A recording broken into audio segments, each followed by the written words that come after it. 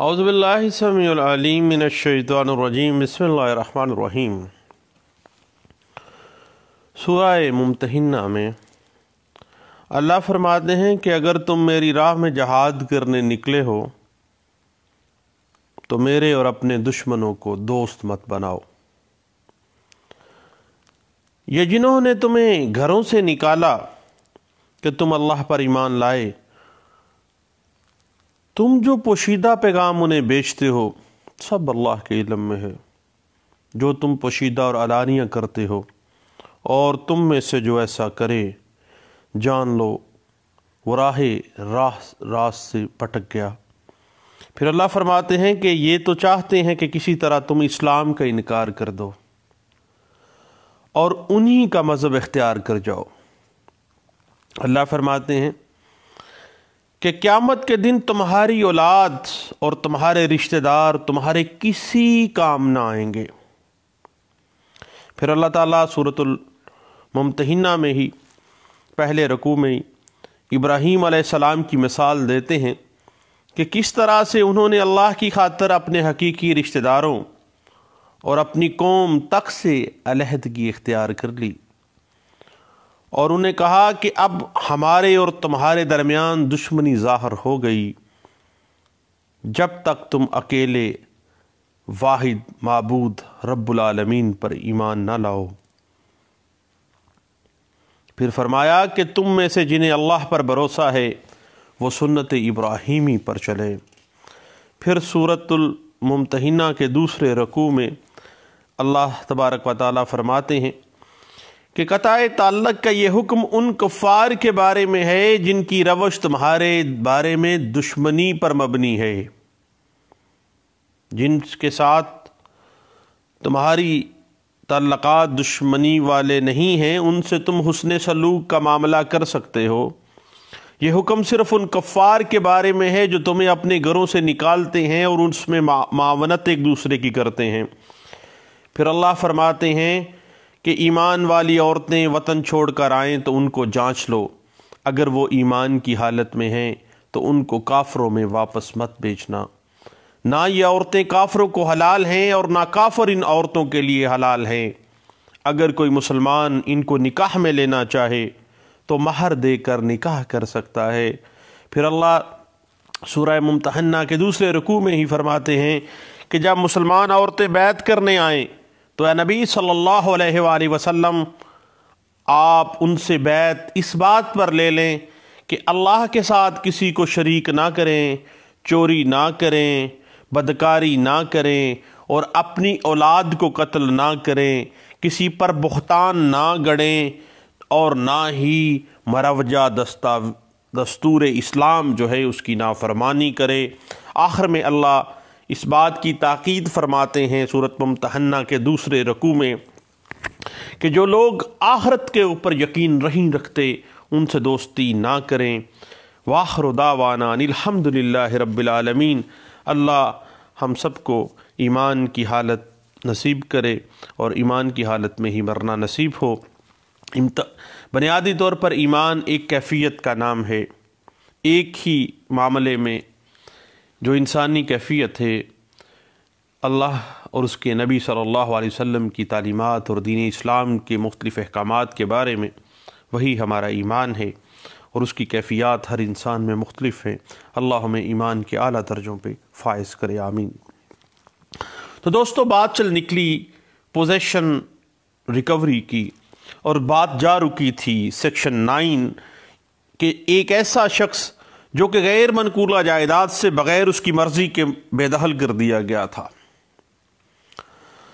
Section nine specific relief act 1877 कहता है कि अगर किसी शख्स को कानूनी जबते के अलावा किसी गैर मनकूला जायदाद से बिला रजामंदी बेदहल कर दिया गया हो या कोई दूसरा शख्स उसकी मार्फत दावेदार हो तो बजरिया दावा उस जायदाद गैर मनकूला का बावजूद इसके कि उस दावे के अंदर किसी किस्म का कोई हक खड़ा किया गया हो, वो शख्स अपने दावे के उस दावे के बरअक्स बिल्कुल कब्ज़ा अपना वापस ले सकता है, क्योंकि उसको बला रजामंदी जो है वहाँ से बेदखल कर दिया गया था। यानी वो शख्स जिसको उसकी गैर मनकूला जायदाद से बेदहल कर दिया गया और कोई भी ऐसा शख्स जो उस गैर मनकूला जायदाद में उस डिस्पोजेस्ड पर्सन के ज़रिए कोई मफाद रखता था, वो शख्स भी इंटाइटल है कि वो सेक्शन नाइन के तहत पोजेशन वापस ले सकता है।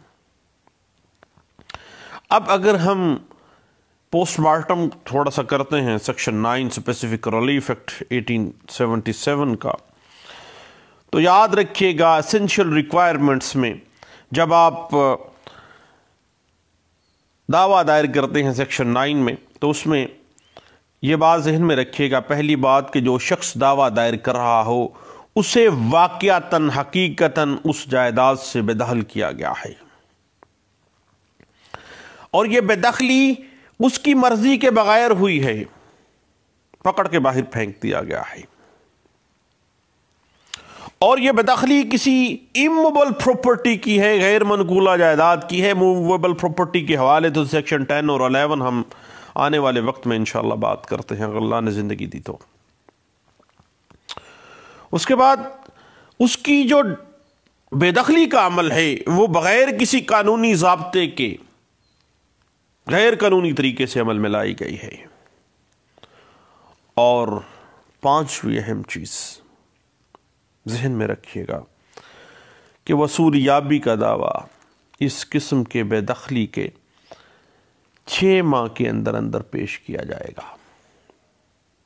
रिकवरी ऑफ़ पोजेशन जो है, वो छः माह के अंदर अंदर पेश किया गया है। और ये वो मुद्दत है जो कि आपको पता है कि लिमिटेशन एक्ट 1908 उसके हवाले से आप सेक्शन तीन जो है आर्टिकल तीन जो है, उसको ज़रा देख लीजिएगा। यानी ये वाजे कर देती है कि जब किसी शख्स को उसकी कंसेंट के बगैर डिस्पोजेस कर दिया गया है तो विद इन सिक्स मंथ उसने दावा दायर करना है।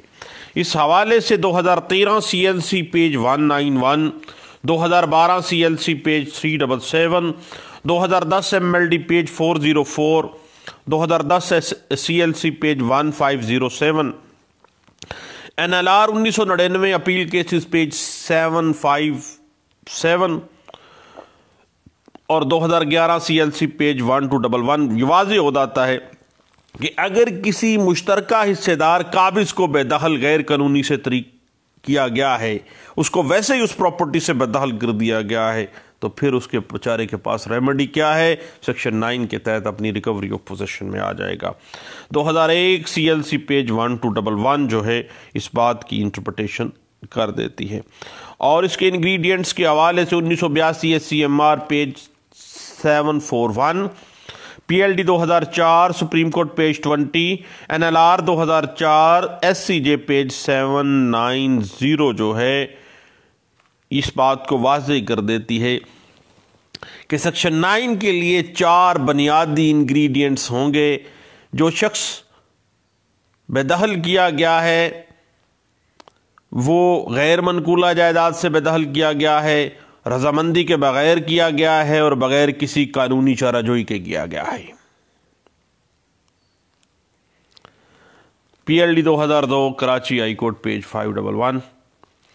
दो हज़ार नौ C L C page one three double eight दो हज़ार सात M L D page three one five nineteen ninety eight C L C page one three two five दो हज़ार दो Y L R page three one eight seven दो हज़ार दो Y L R page 3468 और उन्नीस सौ अठानवे S C M R page 346 उन्नीस सौ सतानवे S C M R page 1608 2002 YLR page 2097 उन्नीस सौ इक्यानवे सी एल सी पेज 1056 और उन्नीस सौ अठानवे S C M R page one two zero one दो हज़ार दो I L R page two seven two three दो हज़ार दो C L C page three seven two दो हज़ार तीन M L D page four eight four दो हज़ार चार S C M R page ninety four two thousand Y L R page पाँच सौ सात और पी एल डी दो हज़ार बारह Lahore high court page eighty eight जो है, ये इस हवाले से हमें गाइडलाइंस दे देती है।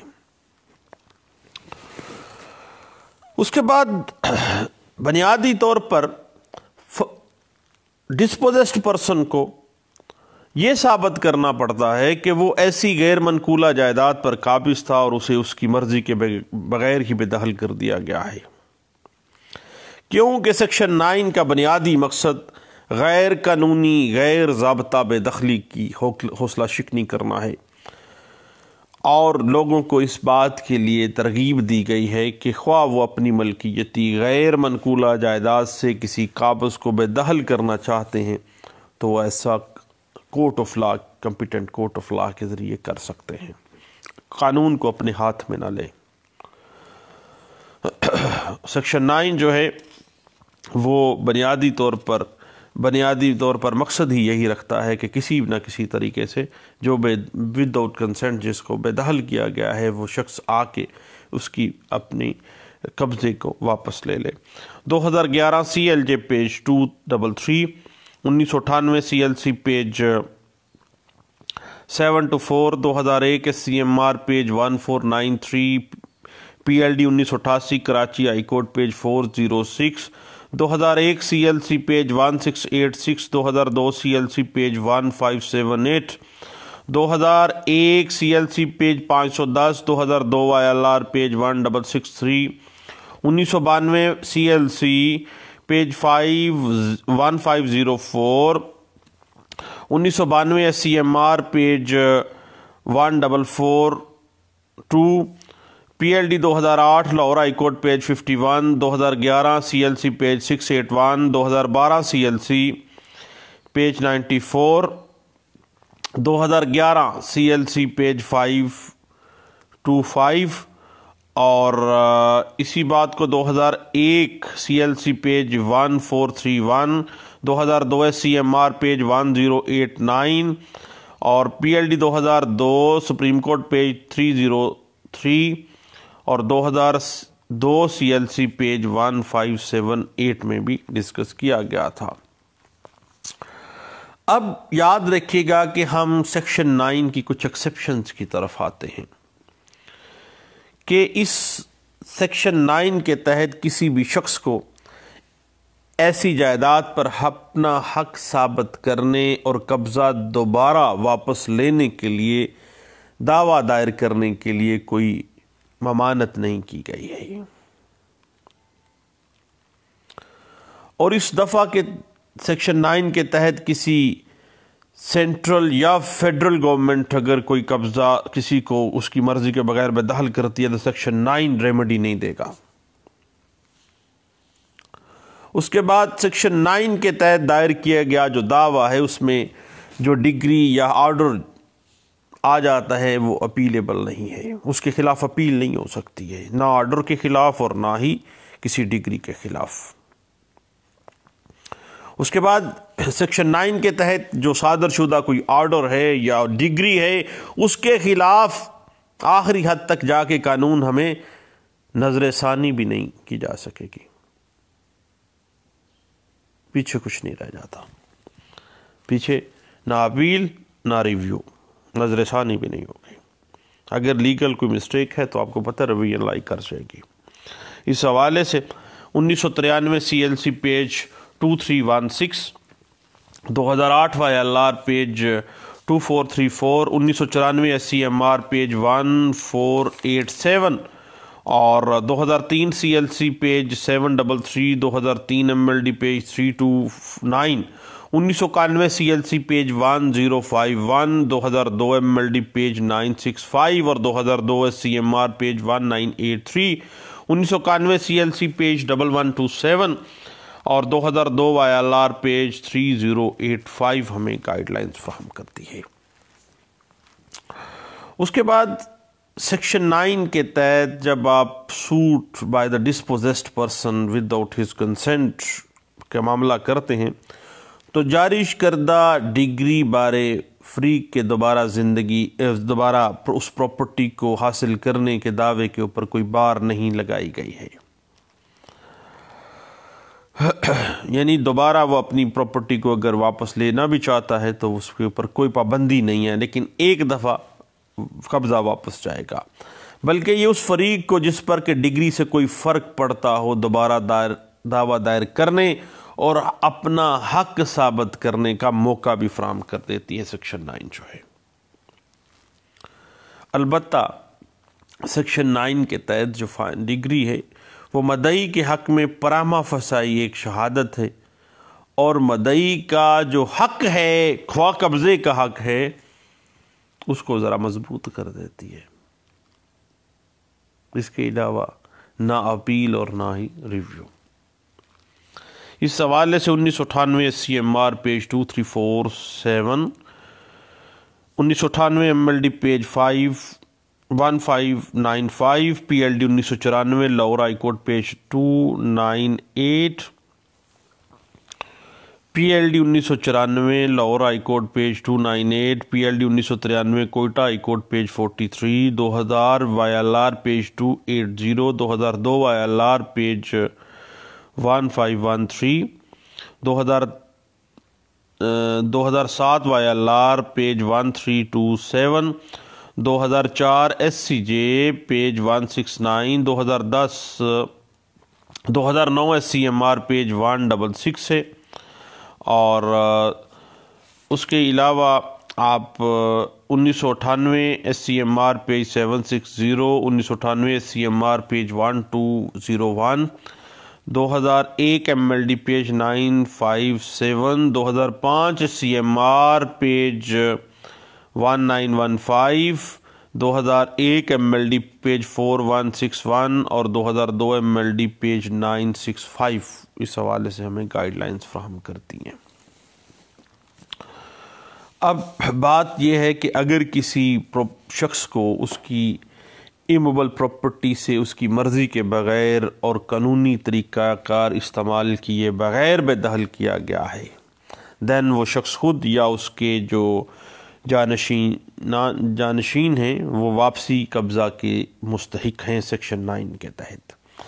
अगरचे दोस्तों, वो मालिक नहीं भी हैं। और ना ही उसके बरखलाफ सबूत मलकियत उस प्रॉपर्टी का वो पेश कर सकते हैं। लेकिन वो वहाँ पे मालिक बतौर काबिज वहाँ बैठे थे। उसके बाद एक बात है कि अगर section nine specific relief act 1877 specific relief के लिए आप आते हैं, वो दावा खारिज भी हो जाए। दैन भी वो वापसी, दावा वापसी कब्ज़ा बर बनाए, हक के मलकियत जो है वो हासिल करने का फिर भी मजाज होगा। बाद में भी वो अपनी अगर किसी किस्म की कोई उसका राइट है या उसका किसी किस्म का कोई प्रॉपर्टी के ऊपर, कोई मलकियत का कोई सबूत होता है तो फिर वो उसको साबित कर सकता है। अलबत् याद रखिएगा कि अगर फेडरल गवर्नमेंट ने या सूबाई हुकूमत ने कब्ज़े से उसको बेदखल किया है दैन सेक्शन नाइन के तहत आपको स्पेसिफिक रिलीफ नहीं मिल सकता है। आपको पता है, वही बात हमने की है कि जब कभी भी सेक्शन नाइन के तहत आप स्पेसिफिक रिलीफ लेने आते हैं और आप फ़र्ज़ करें आपके ख़िलाफ़ आर्डर आ जाता है या आपके ख़िलाफ़ कोई डिग्री आ गई है तो फिर वो दोस्तों अपील नहीं होगी, ना ही उसकी रिव्यू होगा, बल्कि सिर्फ़ एक सिर्फ़ एक रेमेडी है, वो सिर्फ़ रवियन की है, निगरानी की है, उसके अलावा नहीं। असल बात यह है कि कानून हमेशा से कब्ज़े की हफाजत करता है, अगरचे काबज़ मालिक ना भी हो। क्योंकि कब्ज़ा मलकियत की माँ तो है। किसी शख्स को यह हक हासिल नहीं कि वो कानून को अपने हाथ में ले, और काबज़ को बग़ैर किसी कानूनी कार्रवाई के वो बेदखल कर दे। और ख़ुद ही वो अपना काजी बन जाए और ख़ुद ही फैसले करने शुरू कर दे। कानून इस चीज़ के ऊपर उसको कति सूरत कोई राइट नहीं दे रहा है। सेक्शन नाइन जो है, ये उस शख्स को फौरी तौर पर बग़ैर किसी तवालत के वापसी कब्ज़े की दादरसी फ़राहम करता है, जो गैर कानूनी तौर पर किसी कार, बग़ैर किसी कानूनी कार्रवाई के बेदखल हो गया है, वो फौरी तौर पर बेचारा अपना कब्ज़ा तो ले सकता है। इस बात की मज़ीद इंटरप्रटेशन उन्नीस सौ बयासी C M R page seven four one में और P L D nineteen eighty five Quetta high court page double one two में की गई थी। बुनियादी तौर पर सेक्शन नाइन का जो मकसद है, वो कब्ज़े की सबका जो पोजीशन है, उसकी बहाली है। और सबूत मलकियत की इंक्वायरी किए बगैर, ये ख़ास अहमियत के हामिल ये बात है कि उस शख्स को बग़ैर किसी कानूनी कार्रवाई के क्यों बेदहल किया गया? क्या तुम खुद जज बन गए हो? अब इस बात की मज़ीद इंटरप्रटेशन 1989 सीएलसी पेज 1318 पीएलडी उन्नीस सौ पचासी कोयटा हाई कोर्ट पेज 12 में इस बात को इंटरप्रेट किया गया और वाजे किया गया कि नाजायज़ कब्ज़े को कानून और इंसाफ तस्लीम नहीं करता। जिसने कब्ज़ा हाल ही में किया है वो वापसी करेगा। और जिसको बेदहल किया गया है, वो उसको, वो का पोजीशन मामला आएगा। इस बात के ऊपर दो हज़ार पंद्रह C L C page four seven three हमें गाइडलाइंस देती है। और इसके हवाले से उन्नीस सौ इक्यानवे M L D page one two three zero और अभी ये 2019 में दो तीन दिन पहले एक जर्नल में एम एल डी में मैंने नहीं एस सी एम आर में था, और एम एल डी में भी आया है। इसी बात को कि जब किसी मदई को उसकी मर्ज़ी के बगैर बेदहल किया गया है, बगैर किसी कानूनी चाराजोई के किया गया तो फिर उसका हक है कि वह अपना कब्ज़ा सबका पोजिशन पर वापस ले ले। और ये 2019 से C M R page six double eight इस बात को इंटरप्रेट करती है और PLD 2004 supreme court Pakistan page 21 जो है, ये इसी केस लॉ में रीविज़िट बात की गई थी कि सबका कब्ज़ा, कब्ज़े की सबका जो पोजीशन है, वहाँ पे बहाल किया जाए उसको। और याद रखिएगा कि नाजायज़ कब्ज़ा किसी को ज़बरदस्ती निकाल देना विदाउट कंसर्ट जो है, वो इस, हमारा दीन, मज़हब जो है खती सूरत कोई गुंजाइश नहीं देता है। और अल्लाह के नबी वसल्लम ने तो यहाँ तक कहा था कि अगर किसी की ज़मीन का कोई दूसरा शख्स एक बालिश्त के बराबर भी हिस्सा हथियार लेता है, नाजायज़ कब्ज़ा कर लेता है तो क़्यामत के दिन अल्लाह सातों ज़मीनों आसमानों के बराबर उतना टुकड़ा उतार के उसके गले का तोक बना देगा और वो बेचारा भागता फिरेगा क़्यामत के रोज़ रोज़ मैशर मैदान मैशर में। और वो जरील ख्वार हो रहा होगा। तो अल्लाह हमें इस तरह की जरील ख्वार होने से बचाए और हमें हदायत दे। इस बात की मज़ीद इंटरप्रटेशन अगर हम देखना चाहें तो दो उन्नीस सौ इक्यानवे S C M R page two zero six three में और फिर बात वही आ गई कि जब कभी मुश्तरका कब्ज़े में हिस्सेदारान जो हैं, वो एक दूसरे को अगर बेदखल कर देते हैं गैर कानूनी तरीके से तो फिर भी वो सेक्शन नाइन के तहत जो है वो कब्ज़ा की वापसी हो सकती है। और पी एल डी दो हज़ार इस supreme court page one zero seven one इस बात पे हमें इंटरप्रटेशन देती है। हती कि कोई किरायादार है, एक बंदा जिसको नाजायज़ तौर पर बेदहल कर दिया गया है और वो वापसी कब्ज़े की कार्रवाई ना करे तो मालिक वापसी कब्ज़े की कार्रवाई कर सकता है, मगर किरायादार को फ्री के मुकदमा बनाया जाएगा, क्योंकि उस प्रॉपर्टी के ऊपर वो बंदा जो है, वो उसने खुद किराए पे दी हुई थी, उसने किरायादार ही दूसरे बंदे ने आकर उसका बाहर फेंक दिया है। यानी इट मीन उसका कंस्ट्रक्टिव पोजेशन जो है, वहाँ से उसको डिस्पोजेस कर दिया गया अब किरायादार तो नहीं, बल्कि जो असल मालिक है, वो आके बेचारा कब्ज़ा वापस लेगा और दोबारा उसी पोजीशन पे उसको बहाल करेगा। कि ख्वा उसने अलहदा से बात है कि उसने कब्ज प्रॉपर्टी किराए पे दी हुई थी तो फिर भी कब्ज़ा तो उसी का था ना, उसी ने आगे कब्ज़े के बाद उसको किराए पे दी हुई थी। इस बात को उन्नीस सौ पचासी C L C page two six one में भी इंटरप्रेट किया गया था। और इसी बात के ऊपर अगर आप मज़ीद कुछ देखना चाहें तो मेरे दोस्तों, उन्नीस सौ बयासी S C M R page seven four one और दो हज़ार नौ P S C page double one five six इस बात को इंटरप्रेट कर देती है और वाया लार्क 2019 वाली बात अभी मैं कर रहा था। तो ये अभी 2019 की एक लैंडमार्क जजमेंट है। 2019 वाया लार पेज 498 में इस बात को इंटरप्रेट कर दिया गया था कि भाई बगैर रजामंदी के उस बेचारे को बेदखल कर दिया गया, उसकी प्रॉपर्टी से। अब वो दोबारा उसी मामले को जो है, वो रेस्टिट्यूट किया जाए, उसका जो पोजेशन है, फिर आगे बात चलाई जाएगी। और इसी बात के ऊपर PLD 2004 supreme court page two zero twenty जो है, वो हमें इंटरप्रटेशन हमें दे देती है। और 2014 M L D page double two three six और 2007 M L D page one six four seven और अलबत् 2019 वाई एल आर पेज 498 जो है, ये तो भाई कमाल लैंडमार्क जजमेंट है। सेक्शन नाइन के हवाले से इसको ज़रूर देखिएगा।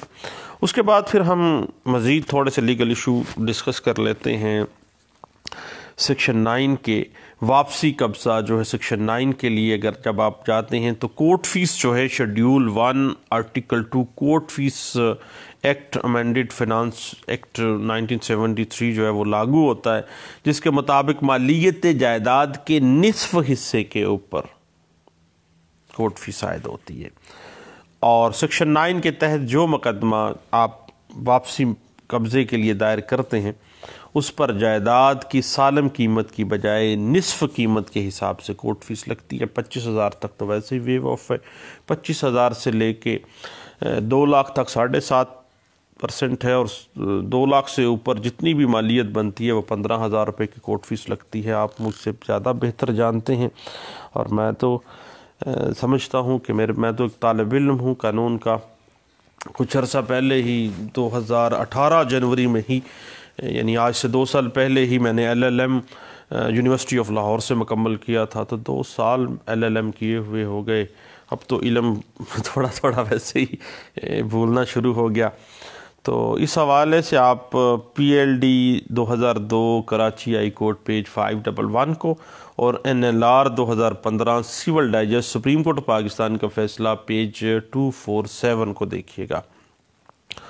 उसके बाद एक और लीगल इशू आ जाता है, section nine specific relief act 1877 के तहत जब आप वापसी कब्ज़ा के लिए आएँ और आपको डिस्पोजेस कर दिया गया है विदाउट कंसेंट तो आप लिमिटेशन एक्ट 1908 के आर्टिकल थ्री जो है, वापसी कब्ज़ा छः माह के अंदर अंदर, यानी जिस तारीख को आपको बेदहल किया गया है, आपने उस दिन आ जाना है। और जो है, तारीख़ बेदखली के छः माह के अंदर अंदर आपने दावा दायर करना है अदरवाइज़ वो टाइम बार हो जाएगा। इस बात की इंटरप्रटेशन उन्नीस सौ नब्बे C L C page two three zero P L J two thousand supreme court page one eight nine four में और दो हज़ार अठारह M L D page one double three six दो हज़ार पंद्रह C L C page one zero seven four दो हज़ार पंद्रह C L C L D page one two five three में इस बात को इंटरप्रटेशन इस बात की की गई थी। तो प्यारे दोस्तों, बात चलते चलते जा रुकी है सेक्शन नाइन के ऊपर। और सेक्शन नाइन में अगर हम देखना चाहें मज़ीद इस हवाले से तो याद रखिएगा,